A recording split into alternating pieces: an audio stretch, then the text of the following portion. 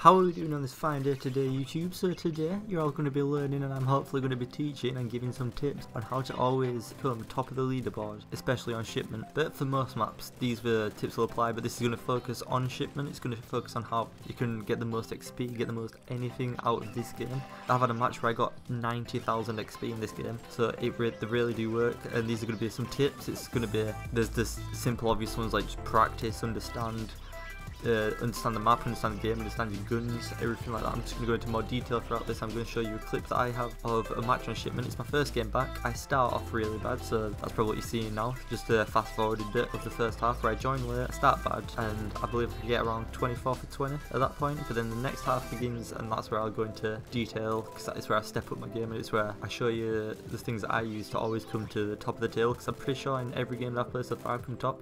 My most kills is 216, I believe, with uh, every other game being about 100 plus if I start from the beginning. So hopefully I want to make it so you guys will be like that. So if I ever come up against you guys, we're going to be having a, a crazy match. It's just going to be insane and intense and just I want to make uh, everyone a bit bit better, think a bit more about what you do in the game and just methods of actually putting it all together and then putting it out. So this is going to be like a little lesson.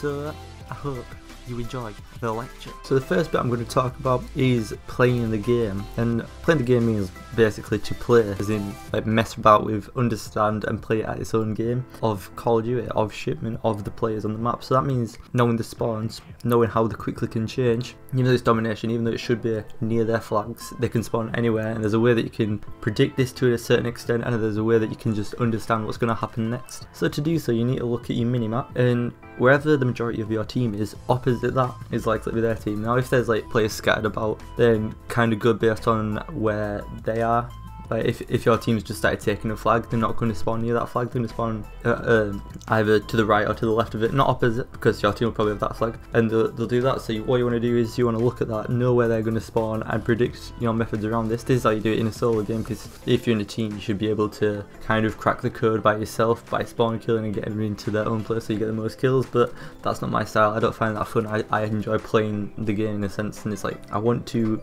make you guys understand that like you can predict this by yourself in a solo attempt to get over 100, over 200 to beat your best kills no matter what it is, could be low, could be high, we don't mind. We just want to do the best that we can do. This, that is what happens, I predict it, I put an airstrike, for example, put that in this space where I think they are going to be, sometimes have radar, sometimes don't, and you just use that to your advantage and you push them about using this and this is how you do it.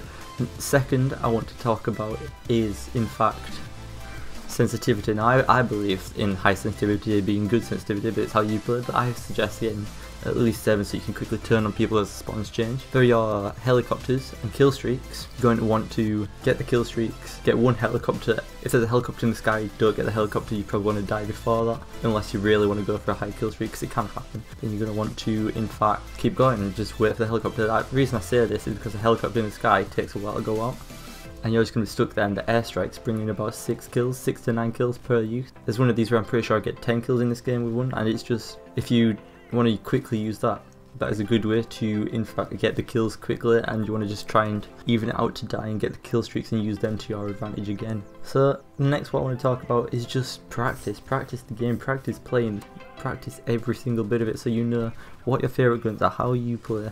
You might be a, an assault rifle guy, you might be a LMG, you might be a quick scoper, no scoper, just a regular sniper, you might enjoy submachine gun, it's completely up to your style of play. But for this particular style of play on shipment, is fast paced. Now there's a lot of people who use the RPD and st stand back and they try and spawn kill, but they don't really work when you're on your own because people can get around you, your teammate there to help you and it's just, you want to be there. So I, I say use a submachine gun, put Martyrdom onto you you're gonna die a lot. It's gonna happen. It's inevitable.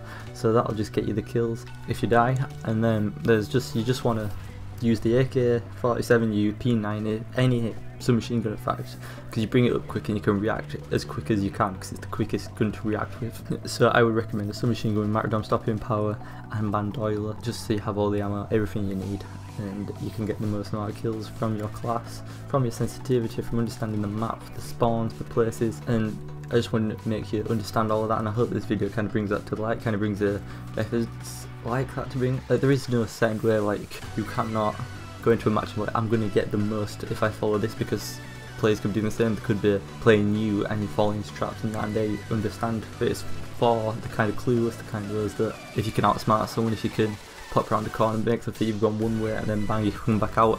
You got to be aggressive in this game. You can't see someone and then sit back and wait for them to fall on you because when you do that, six will do it. So you want to go straight at them surprise them, stand in the irregular spots. You got to use stuff like that. Like if you're taking a flag, you could hide behind something, or you could uh, lay down in plain sight and shoot them. Because they're expecting you to be behind something, they're not going to look at you. Just little things that I do that kind of make me get them high uh, games. Because in most games I do get quite a lot of kills, and I am at the top in most games, four kills. I'm not a very team player, but it can happen where I do use teamwork. But hopefully this brings that to light, brings anything that you can do to maximize kills on shipment. On other games, you need to put these together but use different guns classes what suits it and what suits you. And you just want to at the end of the day get the most skills that you can.